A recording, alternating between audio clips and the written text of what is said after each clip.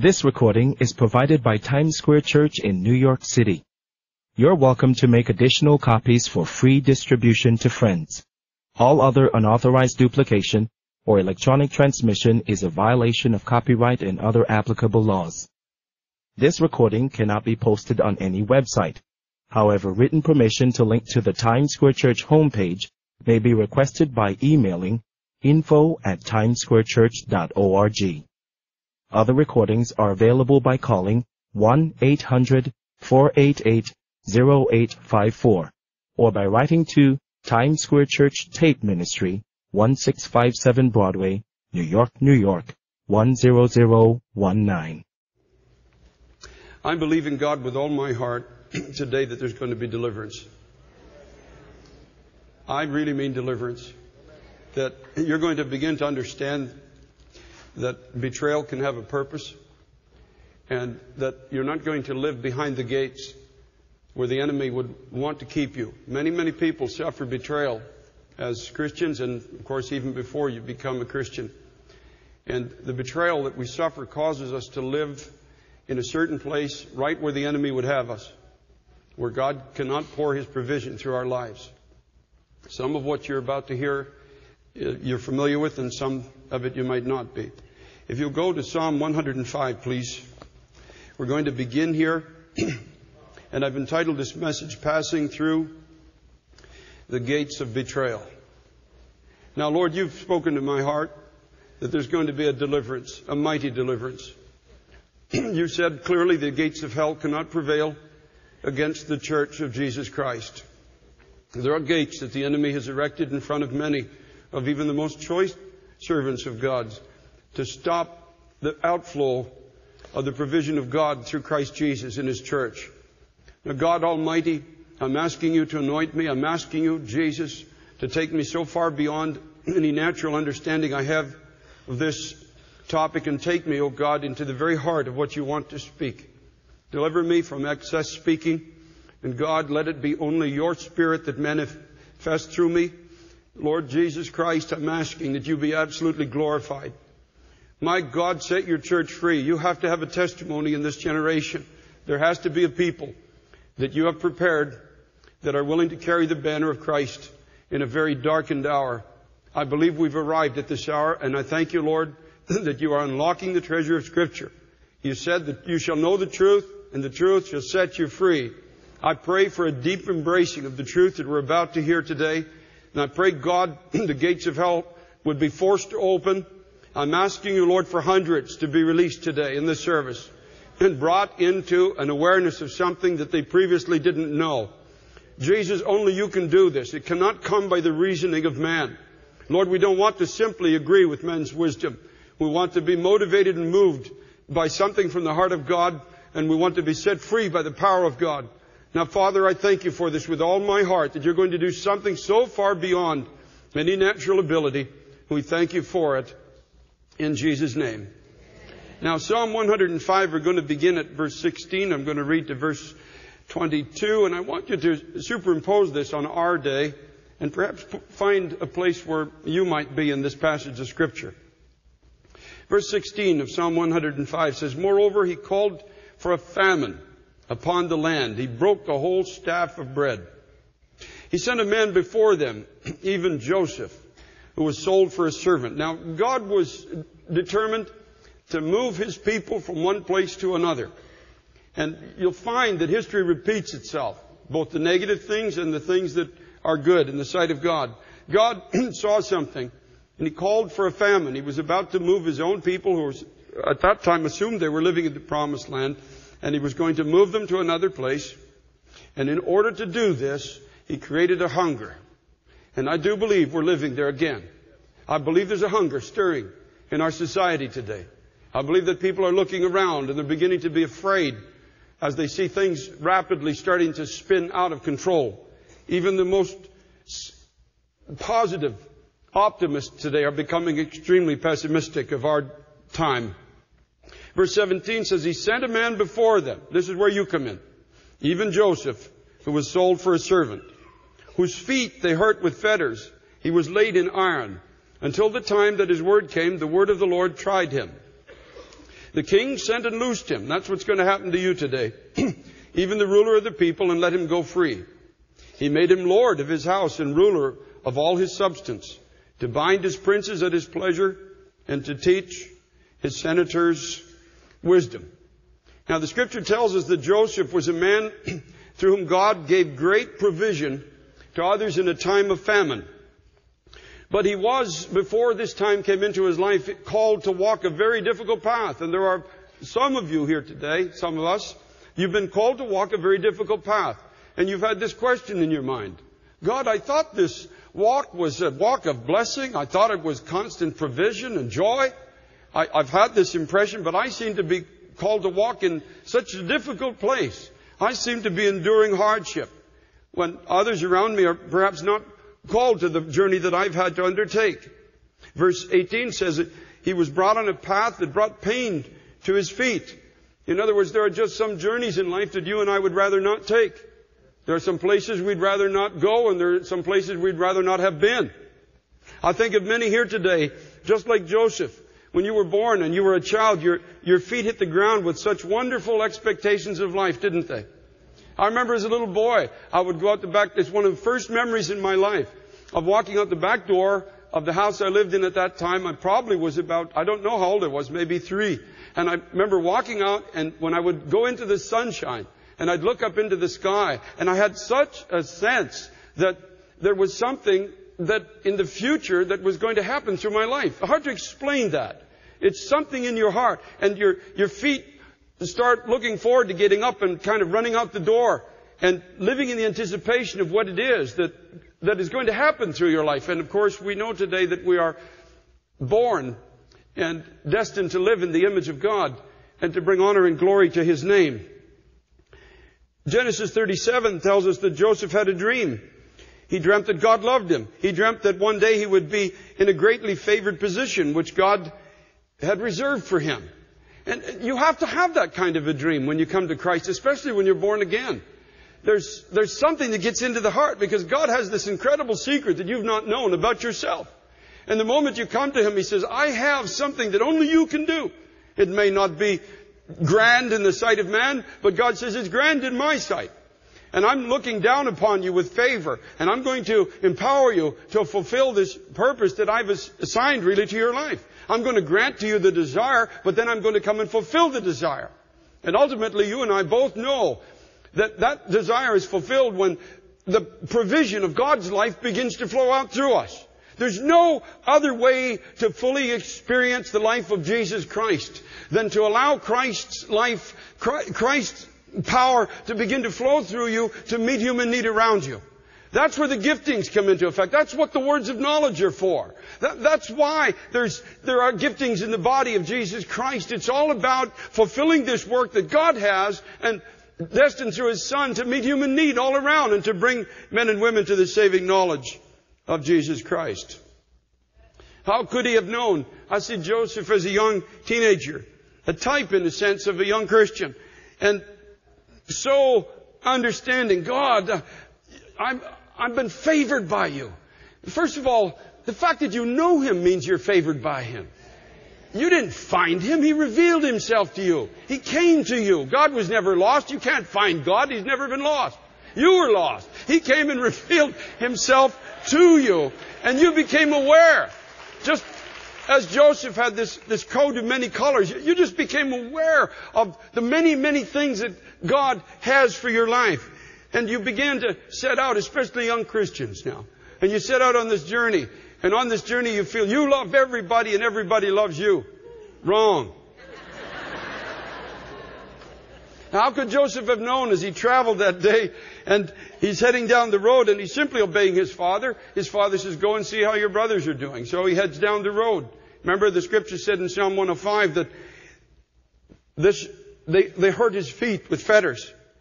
And he comes to see how his, his brothers were doing, and how could he have known that this would be the first of 13 years of suffering the effects of betrayal? Joseph endured things that would stop most people today in their tracks. You, you would become crusty and hard and critical. You, you, would, you would, the tenderness of God would be driven from your heart. You would become ornery. I've seen it over the years. people who have been in the church for years and they just get harder and harder and harder. That's why I rejoiced today when Pastor Dave said that Sister Gwen said you're getting softer and softer and softer as you, as you get older. That's such an evidence of the presence of God working in your life. This would be the first of 13 years of suffering the effects of betrayal by his own family. I don't know if there's a deeper betrayal than the betrayal that comes from those that you thought loved you. Those that you became vulnerable before. And some of you have known this pain. You, you, you came into the church of Jesus Christ and you thought that everything was going to change. Well, in some measure, it has changed. You're just not aware of what the change really is. But you walked in to find similar betrayal, perhaps not as vicious, or in some cases, maybe it was as vicious as things that you had to endure before you even came to the saving knowledge of Jesus Christ. Joseph was betrayed by a man he served in Egypt faithfully. A man who I'm convinced to this day knew that his character was pure, but chose to believe an evil report about him. And because of it, he suffered again at the hands of somebody he faithfully served. He was betrayed by a woman who could not gain his affections and decided to cause him harm by slandering his character. And he suffered great harm because of this secondary, while it's even a third level of betrayal. Even in jail, he's betrayed by a fellow prisoner who promised to help him when he was again placed in a position to do so. And the scripture says he got out of jail and forgot all about Joseph. I don't know about you, but after 13 years of this, I might be inclined to pack it in. Find a cabin somewhere and just give up. I heard an expression one time when I was a young Christian. A pastor said, this whole life of ministry would be just incredible if it wasn't for people. now, the New Testament seems to tell us that suffering is in some measure a doorway to something of Christ that you and I can't know any other way. I want you to hear this today because it's the beginning of the truth that can set you free. Suffering is, in measure, a doorway to something of Christ that you and I cannot know any other way. We'll never know it. Pastor David shared this morning about his son Greg enduring incredible suffering, only to bring him into a place where he can minister to people who have suffered in a way that nobody who hasn't suffered could ever fully understand. Well, we'd have theories and we would throw pat answer scriptures at them, but there's a type of a person that God will send into some of these darkened prisons. Remember Paul and Silas, we want to sing about the victory and the prison doors opening and the jailer and his family being saved and the earthquake coming when they praise God, but we forget that the precursor as it is to all of this was stripes laid on their back and false accusations and public beating and humiliation and being put into a jail and caused to lie on a cold, hard stone slab with their feet in the stocks. There's a whole lot of things that happened to Paul and Silas before they ever could praise God in such a manner that would shake a prison and see the prisoners, including the jailer, set free and loosed. You see, we'd rather go to the earthquake and the miracles and all of the things and skip all of the necessary classrooms. But there is something about suffering. Paul says it in Philippians chapter 3 verse 10. He says that I may know him and the power of his resurrection and the fellowship of his sufferings, being made conformable unto his death. Paul knew that suffering was fellowship with Christ. And he said this, this fellowship of his sufferings will bring me to a place where I am made conformable unto his death. Now we, we know the scripture says he became obedient unto death, even the death of the cross. But how do you and I become conformable to the death of Jesus Christ? Now, go to Matthew chapter 20, please. I'm going to try to explain this in the New Testament. The fellowship of his sufferings being made conformable unto his death. Remember Joseph. He had this incredible word that God was going to use him. And God was going to use his life to bring provision to even his own family. But before this word could be fulfilled, there was a long journey that he had to take. Matthew chapter 20 and verse 20 says, Then came to him the mother of Zebedee's children with her sons, worshiping him and desiring a certain thing of him. And he said unto her, What wilt thou? She saith unto him, Grant that these my two sons may sit, the one on your right hand and the other on thy left, in thy kingdom. But Jesus answered and said, You know not what you ask. Are you able to drink of the cup that I shall drink of? And to be baptized with the baptism that I am baptized, baptized with? And they said unto him, We are able. Oh, how quickly, how quickly we answer God. How quickly we run to the altar. And how little sometimes we understand what it is that we're asking for. Oh, please, Jesus, can we sit with you in power and authority? And can we rule and reign? And can we dash the nations of the earth with a rod of iron? Can we do all of these things? He said, you don't know what you're asking for. You want to sit where I'm about to sit. But are you able to drink the cup that I have to drink to get to that place where I'm going to sit? Are you, are you willing to be baptized with the same Holy Spirit that I'm baptized with? Are you willing to walk in the will of God and to let God's plan and purposes for your life be completely fulfilled? Even if it means pain and sorrow and rejection and misunderstanding and laughter and scorning and in some cases even death, are you able? Oh, how tritely they answered, Oh, we are able. Christ is saying to them, Do you have the ability to drink of wrath which you do not personally deserve? Now we're talking about betrayal. Now we know that he was not betrayed, of course, by his heavenly father. But he was betrayed by Judas. He was betrayed by countless hundreds and maybe even thousands that he had fed on mountaintops and been kind to their children and done nothing wrong to any of them. And To see this crowd standing before him and saying, away with him, give us a murderer and give us a thief, away with this Christ, crucify him. And to have to go to a cross and to suffer wrath, the wrath of God actually, which he did not personally deserve. And he's, he's asking them, are, are you able to drink of this cup? You want to sit with me where I am. And of course, where Christ is sitting is in a place of provision. He sits at the right hand of God today. And all heaven is open to those who trust in Him. And He is the provision of God. He's saying to James and John, you want to sit with me where I am. Are you then able to endure? Are you able to endure rejection? Are you able to en- endure betrayal? Are you able to endure wrath which you do not personally deserve? Without losing heart and losing focus. Can you follow me? And can your life still be a source of supply to others? I am, I was baptized by John. The Holy Spirit came upon me. This is, I'm paraphrasing, but this is in effect what Christ is saying. I was baptized to take away the sins of the world. I was baptized to have no reputation, to be made in the form of a servant and to give my life as a ransom for many. Can, can you do that? Are you able to do that? And they said, we are able. We can handle Jesus, the good life, of power, position, and honor among men. We can handle the baptism of God's power flowing through us. I think of Solomon's proverb, chapter 17, verse 16. He said, Wherefore is there a price in the hand of a fool to get wisdom, seeing he has no heart to it? You see, they were manifesting this foolishness of human reasoning that says, Oh, Jesus, fill us with the Holy Ghost. Oh, Jesus, take us to this place of power and where our lives become this incredible outflow of provision to fallen humanity. It sounds so poetic, doesn't it? But the question remains, are you able to drink the cup? Or maybe I should just ask, are you willing? Uh, are you and I willing to go through the places that we have to go through to get to this position where the power of God can flow through us to a generation? You see, in verses 17 to 19, Jesus had just spoken of betrayal, mocking, scourging, and death. It says, Jesus going up to Jerusalem took the twelve disciples apart in the way, and here's what he said to them. Behold, we go to Jerusalem, and the Son of Man shall be what? betrayed unto the chief priests and unto the scribes, and they shall condemn him to death, and shall deliver him to the Gentiles to mock, and to scourge, and to crucify, and the third day he shall rise again.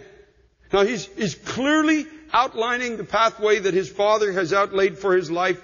This is the pathway Christ had to follow to be our provision. But verse 20 says, Then came to him the mother of Zebedee's children.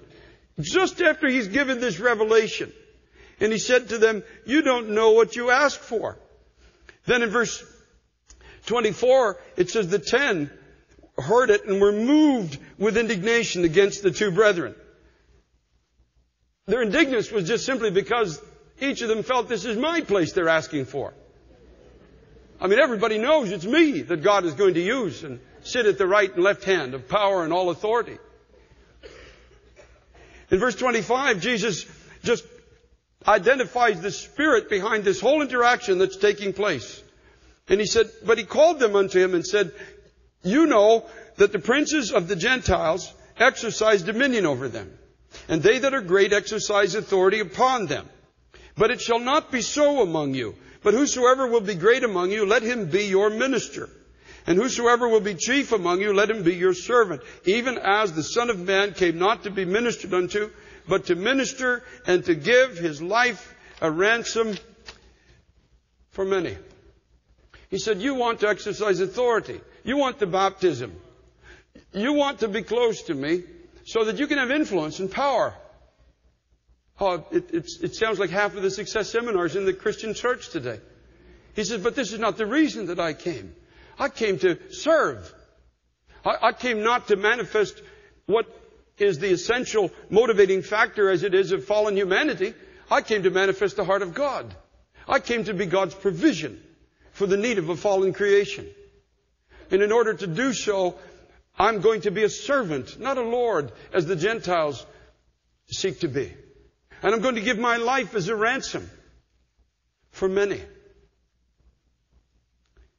Now 1 Corinthians chapter 10 and verse 13 says, There's no temptation taken you, but such as is common to man. And God is faithful, who will not suffer you to be tempted above that you are able, but will with the temptation make a way to escape that you may be able to bear it. When we are betrayed, there, it is a trial like no other. I don't know about you, but I have been. It is a pain sometimes like no other. And some of you have been, you've been betrayed long before you became a Christian. Your little feet hit the floor and before you got to be five, you were betrayed. Your, your pathway became less sure. Your steps became more feeble. It became a very, very difficult place for you. You were betrayed by people that you trusted. You're betrayed by people in authority. You're betrayed by people that you became vulnerable and were vulnerable before. And sometimes you come into the church of Jesus Christ with this incredible baggage of betrayal and you say, Oh God, thank you. I'm in a new kingdom now. And everything is going to be different. And that's what Joseph thought. You see, it was his own brethren that betrayed him and brought this incredible pain and this 13 year trial into his life. And the devil now would have you and the devil would have had Joseph stay behind this gate of betrayal and shut this gate right in your face and say, now Joseph, for the rest of your life, just endure people. For the rest of your life, like, be out for yourself. Forget about other people. Live this life for yourself. Get the best of it that you can. But forget about everybody else. You see, God's plan was to flow through him with incredible provision. The enemy's plan is to put him behind gates. And to keep him behind these gates all of his days. And uh, let me, hear me clearly on this. There are many, many people in the body of Christ that never even come close to fulfilling what God has for their lives. They'll get to heaven. But they sit behind these gates saying, I'll never trust again. I'll never be vulnerable again. I, I, I, don't even want to reach out. I don't even like people anymore. And that's, it seems humorous, but people think that way. There are people in this sanctuary that think that way today. I don't like people. Loving people is not an option. I don't even like them. I don't trust people. Some people here today, you can't come under leadership. Because leadership at some point betrayed you. Whether it's your father, your mother, a guardian, a boss, somebody you trusted betrayed you, you vowed a vow in your heart, you went behind the gates of betrayal, and you said, I will never trust leadership again. You cannot come under authority, you cannot walk in a ministry, you cannot walk in unity with anyone because you are living behind the gates of betrayal. You are exactly in the place that the devil wants you to be in. But there are you know, and, reasonably so, you'll say, Pastor, like, okay, I've heard these sermons before. I've gone to the occasional altar and I prayed, oh God, please help me to forgive. And I thought there was going to be some kind of a miraculous thing happen in me. And I, walked out the door and I didn't feel any different than when I walked in. I had a momentary relief, a momentary release, but I, I was not really free the way I thought I was going to be free. So I got discouraged and I, I felt, well, maybe there's just no hope to get through this. But remember, I read you a scripture that your testing, the word temptation actually is also means testing, is, is not unique. It is common. Others have had to go through this. Joseph had to go through it. Folks, listen to me. Every person who's ever been used of any considerable measure in the kingdom of God has had to go through betrayal. Jesus Christ was betrayed. John the Baptist was betrayed. Isaiah was betrayed. Just look at it all through the scriptures. Jeremiah was betrayed. You'll never get through it. You'll never amount to what God wants you to be if you can't get through these gates of betrayal. It's all through the scriptures. Look through history. You'll find men and women that were used of God all had to, not to, they didn't stop at the gates of betrayal. They went through the gates of betrayal. They went through to the other side. Now your question is reasonable today. Pastor, tell me, help me. How do I get through the gates? How do I do this thing? Now I want to follow for a moment, if you go to Genesis chapter 47, I want to follow the 42 rather, Genesis 42. I want to follow with you the things that Joseph had to go through. We're going to do this just very briefly. It's not going to take too long. Joseph has been 13 years in a prison. He finally gets released from this prison. He's placed in a spot where he has the keys now to provision, even for those that have formerly wounded him. Now in chapter 42 and verse 7, it says, And Joseph saw his brethren. Now remember we started in Psalm 105. God created a famine. Now, I don't want to alarm you, but hungry people that once wounded you are going to come to you one day for help. You're going to have to deal with this. People in your neighborhood, people on your job, people in your family, fathers and mothers that let you down are one day going to come to you. It's going to get tough, folks. It's going to get very, very tough in our generation. And they're going to come. And they're going to come to you because you're sitting in Christ in a place where there is provision. And when Joseph's brothers first come to him, there's, there's a memory now that's coming back to him. He'd rather just run away from this memory. He'd rather not deal with it. And when his brethren saw, when he saw them, verse 7, he said he knew them and he made himself strange to them and he spoke roughly to them. And now keep in mind, we're talking about the man who became the provision for the household of faith, for his own brethren. And the best he could do in the beginning is speak roughly. And sometimes that's just where you and I are. All we, we can't speak civilly about people who've hurt us. We, we try to cover it with some Christian words, but there's a roughness in our speech. You all know what that's about. You just can't get through it. You, you try, but your face twisted when you try to say something nice about them. You just can't say it. And if you meet them, even in the church, you'll say, it's good to see you today. Rough speech. there's no tenderness. There's, there's so little of Christ, but I want to tell you something. It's, it's, it's, it's not a defeat. This is the beginning of something that God is doing in Joseph's life. And you and I have to start there. We, we start with just acknowledging this is where I am. I, I can't get by this. Unless God you come and give me the power, I, I can't get through this. Now, these same men, beginning in verse 8, are standing before him and they are pretending to be honest men. Amazing. They've wounded him. They've betrayed him. And he says to them, who are you? And they start to say, uh, this is who we are. And in verse 11 say, we're all one man's sons and we are true men. We're honest men. They're standing before the man they've betrayed. That's the most galling thing you'll ever have to go through as a Christian. When somebody has betrayed you and they're absolutely unwilling to admit their fault. And they stand before you and have this, this feigning of righteousness. And Joseph is the man who has the provision. He could let them starve to death and he knows it. He knows there's no hope for them. There's a famine. God has already shown him. There's seven years of famine.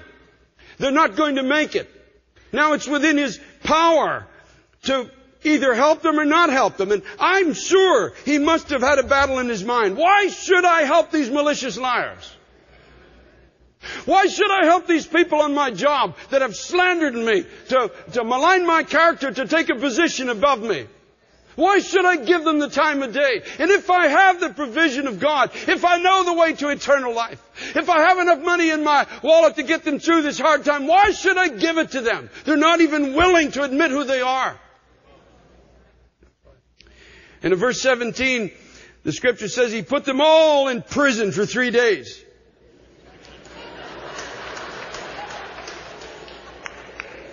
Oh, must, that must have felt good. Feels good, doesn't it, when you can put them all in jail. Suffer. But let me read to you a scripture.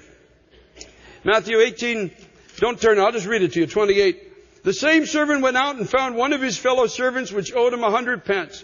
And he laid hands on him and took him by the throat and saying, pay me what you owe me. His fellow servant fell down at his feet and besought him saying, have patience with me and I'll pay thee all. But he would not, but went and cast him into prison till he should pay the debt. When his fellow servants saw what was done, they were very sorry and came and told their Lord all that was done. Then his Lord, after that he called him, said to him, Oh, you wicked servant, I forgave you all that debt because you desired and you asked me to. Should you not also have had compassion on your fellow servant, even as I had pity on you? And his Lord was wroth and delivered him to the tormentors till he should pay all that was due unto him. So likewise shall my heavenly Father do also unto you, if you from your hearts forgive not everyone his brother their trespasses. He put them in prison, but only for three days. I can't help but wonder what was going on in his mind those three days. Maybe the Lord came to him and said, Joseph, I've been merciful to you. Remember you were in prison. You remember how it felt to be in prison. Remember how difficult it was in prison. Why do you want anybody else to have to go through this? You have it in your power to set them free. You have it in your power to give them what they need. And Joseph said to them, verse 18, the third day, this do and live, for I fear God. The fear of the Lord, the scripture says, is the beginning of wisdom. The fear of the Lord moves Joseph to begin to exhibit and to show and to give mercy and provision.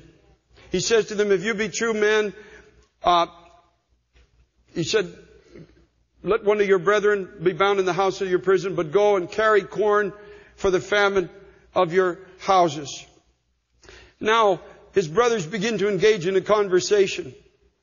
This is about as merciful as most of us want to get. You just, just go, here's, here's the corn, just go. Just go. We, we would say, well, that's wonderful. We, we forgave the debt. We'd have a, we'd have a praise service over this. But he's still got a long way to go yet. In verse 23 and 24, he hears them talking in their distress, and they say that did I not tell you, verse 22, do not sin against the child you would not hear, therefore behold also his blood is required. And they knew not that Joseph understood them. For he spake to them by an interpreter, and he turned himself about from them and wept. Now it's incredible. He hears them talk about their distress, but there's no true sorrow in them for what they did to him. It's, it's not about the fact that they betrayed him, it's about the fact that they've gotten themselves into trouble. And they said, now we are in trouble because we did this, but there is no sorrow for what they did to him. And the scripture says he turned from them and wept. Now this is the first indication of weeping in his life. You see, I see it this way. He's, he's not willing to be vulnerable again. He, he hears them in trouble. He says, I can help you, but I'm not willing to be vulnerable. He turns from them. I, I, I really can't show you what's really going on in my heart. I really can't reach out to you because I don't trust you. In chapter 43 verses 30 and 31, we see this yearning for reconciliation growing. And this is an evidence. Now listen to me very carefully. There's an evidence that you are moving to be released from these gates of betrayal when you are yearning now to be reconciled with people who have hurt you. It comes into your heart. It's birth of the Holy Ghost. There's a yearning.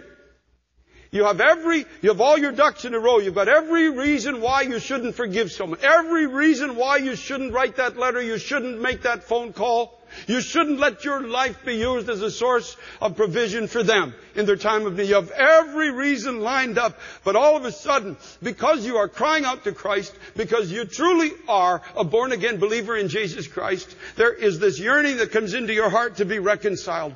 God puts it there. This is a work of the Holy Spirit within you. And you just simply said, Oh God, in spite of what it cost me, Lord, I want to be reconciled. It says in verse 30 in chapter 43, Joseph made haste for his bowels did yearn upon his brother, and he sought where to weep, and he entered into his chamber and wept there, and washed his face and went out and refrained himself and said, set on bread. He's yearning for reconciliation, and he's still willing though to be, unwilling rather to be vulnerable before them until chapter 45, which I believe verses 1 to 5 tells us that he has passed through the gates of betrayal. Now here's the evidence that you've passed through. Then Joseph could not refrain himself before all them that stood by him. Verse 1. And he cried and said, Cause every man to go out from me. And there stood no man with him while Joseph made himself known unto his brethren. And he wept aloud, and the Egyptians and the house of Pharaoh heard. Folks, God is not calling you to go back into your situation sometime with a great big smile on your face. There's real emotions involved in this. You're going back to somebody who hurt you. It might mean some tears. But Joseph was at least willing to do it. Finally, he came to the point of understanding something. And he wept aloud. And Joseph said to his brethren, I am Joseph. Does my father yet live? And his brethren could not answer him, for they were troubled at his presence. And Joseph said unto his brethren, Come near to me, I pray you. And they came near. And he said, I'm Joseph, your brother, whom you sold into Egypt. There's the evidence now. Verse 5, he says, Now therefore be not grieved, nor angry with yourselves, for you, that you sold me here. For God did send me before you to preserve life. Here's the evidence that you've passed through the gates of betrayal. It's when you come to the place of understanding that God has been in control of everything all along. When you begin to understand that everything that He has allowed into your life has come for a divine purpose, a purpose which has been unfolding supernaturally through which the life of Christ will become a source of provision to others. When you begin to understand that all things work together for good to those that love God and are called according to His purpose. All things. The things you know and the things you don't. The things you like, the things you don't like. The things that cause you pleasure, the things that cause you pain. God has been working these things out and allowing them to be worked out from the day you came to Him. To bring you and I to a place where our lives would become a source of provision, as the life of God did through Jesus Christ for a humanity which had betrayed and rejected Him. We are called to follow in the footsteps of our Savior. We are called to walk with Him. We're called to drink the cup that He drank and be baptized with this incredible baptism of God's love. God so loved the world. God loved you in your rebellion. God loved you when you cursed His name. God loved you in your betrayal. God so loved you that He gave His only begotten Son that you should not perish but have everlasting life. Are you willing to drink the cup?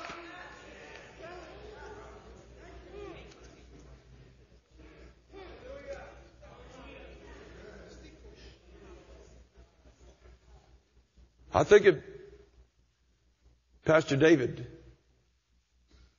this morning when he was speaking and talking about this tenderness and the renewed zeal at 75. I had a vision, Brother Dave, this morning in my heart of the next five years are going to be incredible in your life.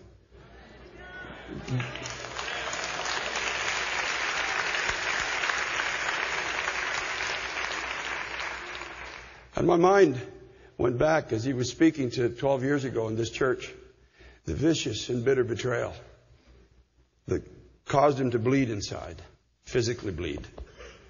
Where at one point I personally feared for his life. I remember your brother Dave not able to come out on the platform. He'd sit behind the curtain and ask me at the end of the service, has the Holy Spirit left us? Is the Holy Spirit still here? Have we grieved God?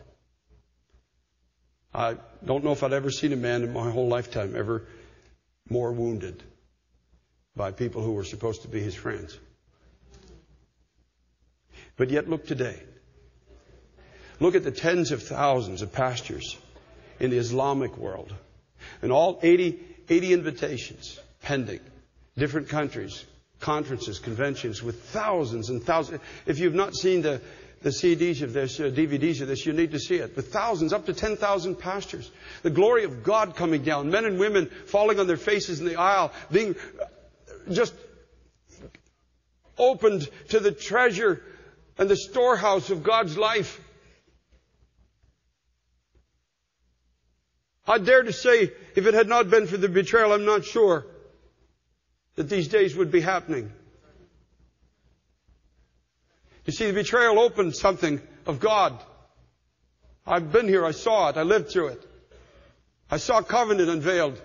The new covenant. I saw Jesus Christ just absolutely unveiled and all, any, any darkness that was there between this man and Christ was pushed away. Now at the age of 75 has the provision. The key sits at the right hand with Christ.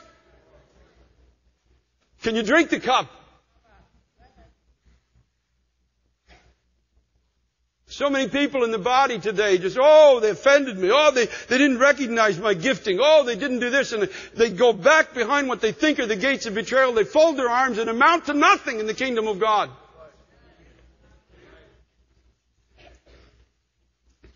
David said it this way.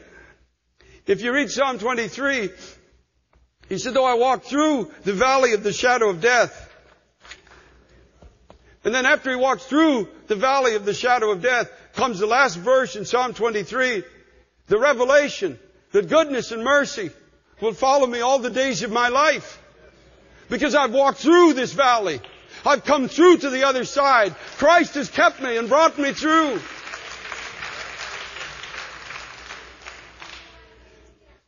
It's time, folks. This is a starving generation for truth. There's a famine in the land. There's hardly the Word of God left anymore. Young people are starving in our society today. It's time for maturity to come. It's time for the church to put away childish things. It's time to get up. Because Jesus said, you are my church and the gates of hell cannot prevail against you. It's time for God's people to get up and say, I'm going to be vulnerable again. I'm getting up. And I'm not letting past betrayal, I'm not letting woundings and hurts stop me from what God has for my life and the provision that God is going to flow through me. The gates of hell cannot prevail. That means they can't hold you. They can't hold you back if you have a heart for truth, if you have a heart for God, if you want to go with Christ. They can't stop you.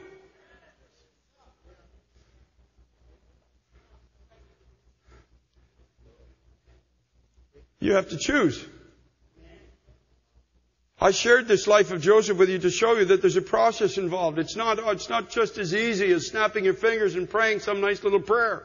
You have to determine in your heart that this is the way I'm going to go. God will confront you with the situations and then as they arise, He'll give you the power.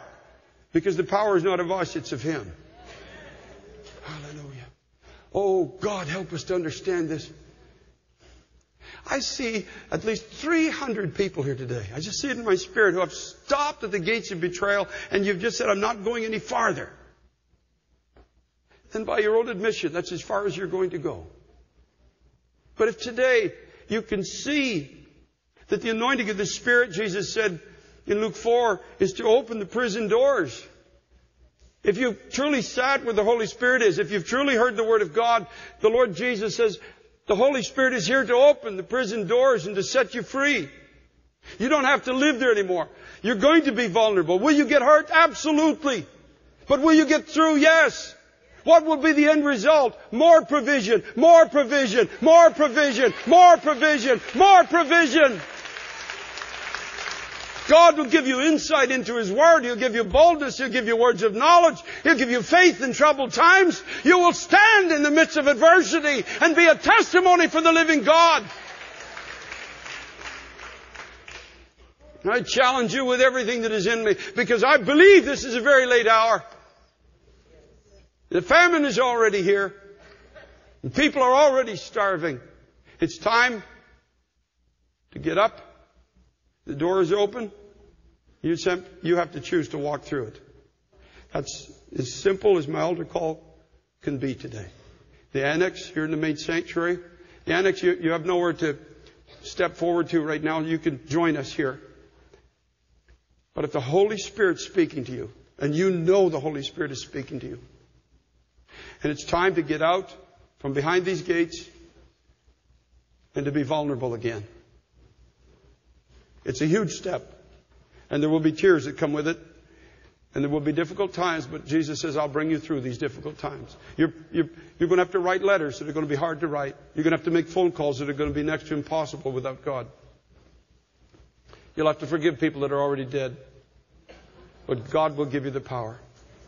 If this is in your heart, as we stand, come, join me. We're going to pray. We're going to tell those gates of hell to open, and they're going to let you out. Stand, please, in, in the balcony. Go to either exit. Make your way here in the main sanctuary. Just make your way down, please. We're going to pray together, and we're going to believe God. You want your life to be a source of provision in this generation. Hallelujah. I agree with Pastor Carter that this is a time for deliverance. And for many that you, of us that heard this, many of you here, you're hearing it lovingly for a, by a, a loving confrontation of the Holy Spirit who says, do it now if you want the blessing of God in your own life. Pastor Carter mentioned the season this church went through when my wife had to pick me out of a chair and literally pull me to a service. I didn't want to come to this church because of the wound in my heart. But God spoke to me. He said, if you can do two things, you can get bitter and you can quit. And you can live with that. And I'm not going to damn you, but you're going to live in sorrow. And you're going to live in pain mentally that you could not conceive. But because I love you, I'm going to tell you what to do. First of all, you forgive everyone who's ever hurt you and do what you can to bless them. I had to make a list with the help of the Holy Spirit.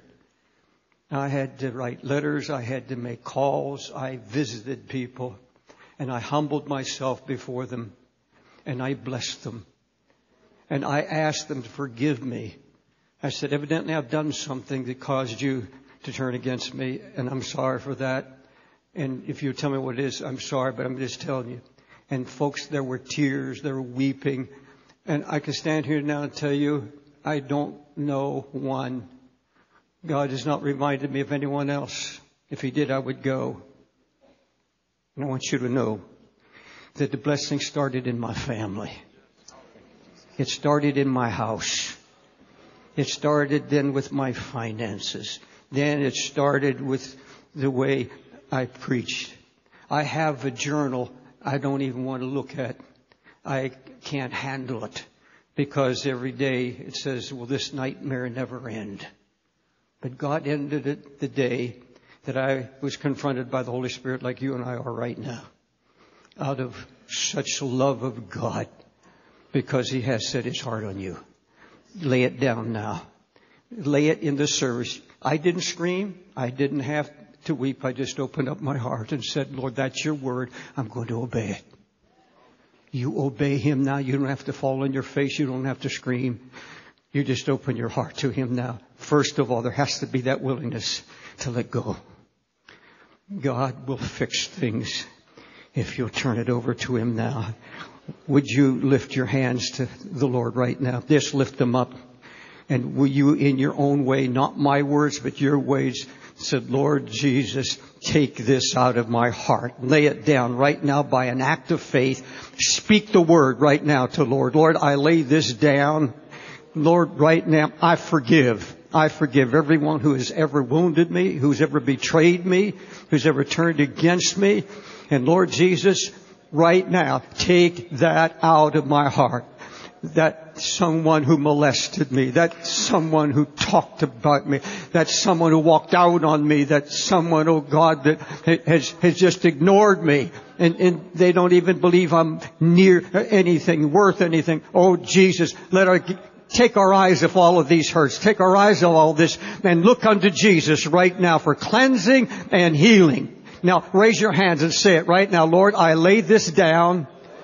I surrender this to you by a step of faith. Holy Spirit, show me what to do because I'm willing. Give me words. Whisper in my heart the direction you want me to take.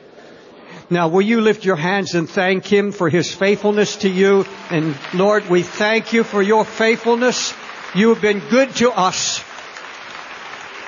You have blessed us with your living word. Closing word, Pastor, I tremble with you to think that anyone, after hearing this word, w- would hold on to something you know that could damn you. Only because you'd harden your heart and the grace of God could not reach you. God's grace would always be there calling, wooing, but there'd be a wall there. That's the gate that he's talking about. Oh my Lord, help you. Take that step. Do it quickly. If you wait, wouldn't you agree, Pastor? If you wait another day, you have to move when the Spirit is moving on you. Make up your mind and do it. This is the conclusion of the message.